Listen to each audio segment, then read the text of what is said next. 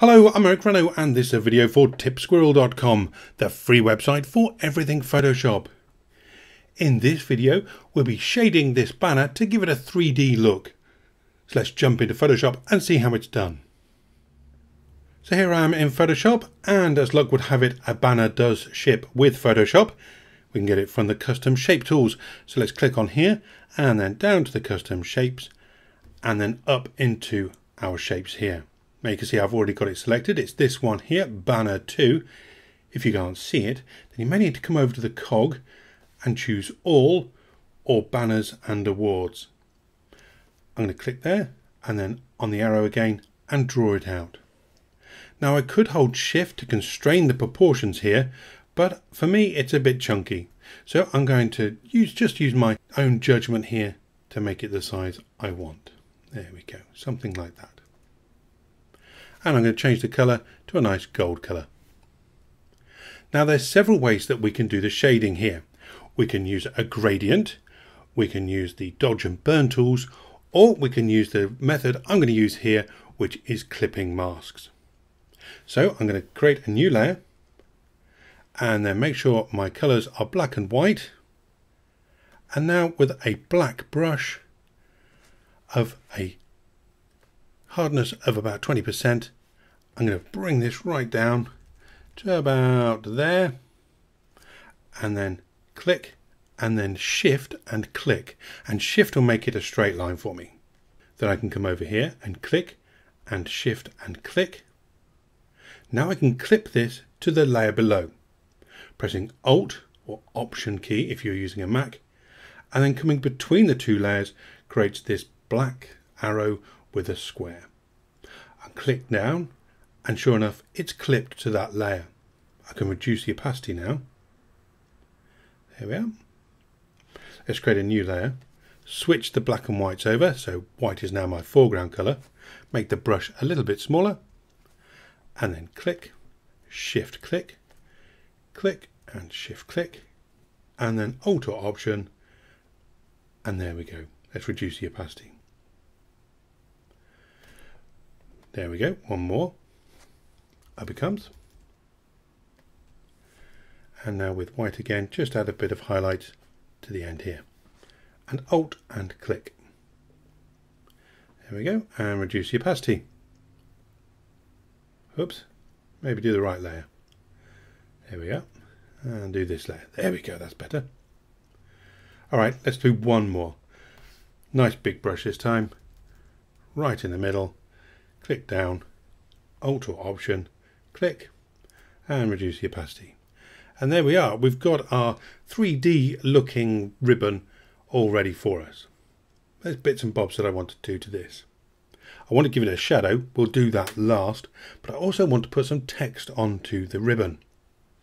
Now this is all seems very easy until you realise that the ribbon isn't straight. It's got a little bit of a bow to it. So we need to follow that contour. And we can do that by clicking on the shape layer and then going over to paths and there's our path for our ribbon. Now if I come and get my text tool, I can click down on the path. At the moment I'm inside the path as denoted by this dotted circle. If I come down a little bit, we should have a wavy line that tells us we're going to type on the path. I'm going to find the middle and just click down. Now I can type out what I need. Tip squirrel. And you'll notice it follows the path. But it's still not quite right. It's uh, not positioned correctly and it's right at the bottom. So let's go and get the black arrow tool and then come over to our text and you'll see that I get these two black arrows. All I've got to do then is just click down and just scooch it along a little bit till I find the middle or about where I want it to be. There we go. And now to move it up, I come over to my character palette and I can use this scrubby slider here, click down and drag it up and there we go, it lifts it up from the baseline and we get it just about right. I'm going to close that down again.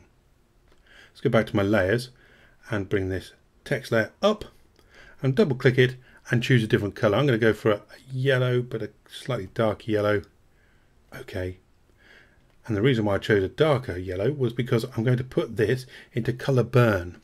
So we keep some of the shading as well. All right, that's good. Now you'll notice that this is already part of the clipping group and we don't want it there. So let's Alt and then click. You'll notice there's a line through that black arrow this time and click and it takes it away. Click on layer 4, shift and click on shape layer and then control or command E to put them all onto one layer. Good. Now let's add a shadow. Again, there's a couple of ways we can do this. We can do it as a layer style if we wish. But what I'm going to do here is I'm going to press Control or Command and then click on the thumbnail of this layer just to make a selection. Then on a new layer, Control or Command and Backspace to fill it with black. Control or Command D to deselect. I'm going to drag that underneath. And I've got my shadow. Now I'm going to press Control or Command T to transform and then click on this little icon here for warping. Now I can make the shadow exactly as I like. So let's bring that down. Maybe bring this down as well. In fact, I want to bring that a bit further down than the rest. Let's bring this one out, curl it around a little bit. And you notice I get a lot more control over my shadow doing it this way. Now I could have created it with layer styles and then created a layer from this, but you know, I chose to do it this way.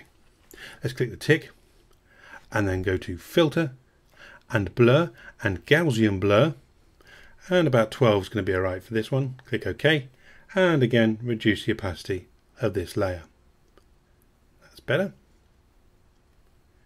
Now finally what I want to do is I want to give this bit more of a curve. So layer 5 is now selected. I'm going to shift and click on my text layer right click and choose Convert to Smart Object. Then I can Control or Command T to transform and then up onto my warp widget and this time I'm going to use the drop down menu and choose arc. It's far too much so let's bring that down and I think about 15 to 20 is going to suit my purposes just about right here. There we are, that's nice. Click the tick. And now I've created this nice and big so as I could go smaller if I wished. So let's do that. Control T. And then I'm going to press Shift to constrain the proportions, Alt to transform from the center and bring that down. And click the tick. And there we are. I'm going to go onto the Move tool just so as I can bring that to where I want it to be. Now if I wanted to change the text here, of course it's inside a smart object, so I can double click that and there's my text. I can come in here and I can pop my name in if I wished. And although it looks straightish now, it will follow the contour, I promise you. Close that down, save it, and there we go. Right, one last time, in there. And of course, what I'd like you to do is subscribe to this YouTube channel. There we are, we're all done. I'm Eric Renno. Thank you very much for joining me here at tipsquirrel.com. I hope to see you again soon. Bye bye for now. So here's a bit of a bonus tip for those people that are happy to use smart objects and nested smart objects. We did make this tip squirrel follow the curve of the bottom, but of course it's not in perspective of the rest of the ribbon. But we can do that by going into the smart object and then converting the text to a smart object as well. Now what we can do is we can go to edit and transform and perspective. Now I can take hold of these corners and turn that over. There we go. And now it's a bit more in perspective to the ribbon. Let's click the tick and then we can close that down and save. And there we go. It's now in perspective. And if we wanted to change the text for this one, we double click it and then double click it and there's our text.